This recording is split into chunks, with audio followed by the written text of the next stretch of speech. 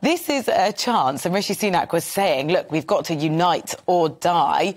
He's pulled together his cabinet. Are they going to be one that can restore confidence in not only just the party, but the public? So, currently in the polls, it, we can expect to see improvements in public perceptions um, of the Conservatives. Um, I think we've got to first look back at Liz Truss. Um, people will be comparing Rishi Sunak and his government to her government, and she reached an approval rating of 7%, which is difficult to do worse than. Um, Rishi Sunak was also the preferred choice um, among the public for who they thought the Conservative Party should choose as leader. Um, the public do want to see stability. And I think a cabinet that he's put together that does appear to be one where he's focused on unity is a good chance to portray that at least. We'll have to see, it's very early days, whether that's maintained.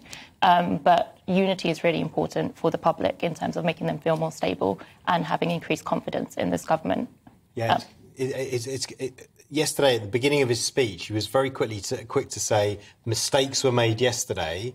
And on the face of it, that seemed like quite, quite an honest assessment mistakes were made. But actually, it's about distancing himself from Liz Truss because the narrative from Labour will be this is continuity. You were with Boris Johnson, you're part of this mess. Exactly. And I think one um, good thing that we've seen in the polls for the Conservatives is that the public are more likely to place that blame for what happened with the fallout of the mini budget on Liz Truss and Kwasi Kwarteng rather than the mm. Conservative Party as a whole. So the fact that Rishi Sunak did distance himself so much is a good thing. And the fact that he was so far removed um, from Liz Truss's government does mean that he can provide that confidence to the public.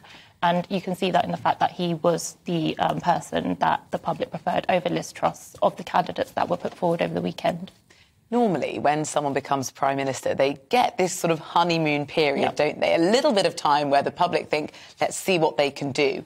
Is Rishi Sunak actually even going to be afforded that? I think he, he will be for a while. Um, I think it, a key group we are going to be looking at are Conservative 2019 um, voters because at the moment 30% of them are saying that they would vote for Labour.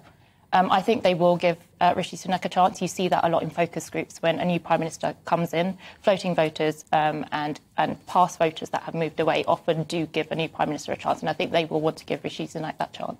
There's quite a lot of anger, though, among the Conservative Party membership um, at what happened with the was Boris Johnson going to run for it or not? And just in our inbox yesterday, people really angry saying, you know, Boris had the mandate, he should have gone for it. Do you have any sort of indication on how things might have gone if Boris had gone forward?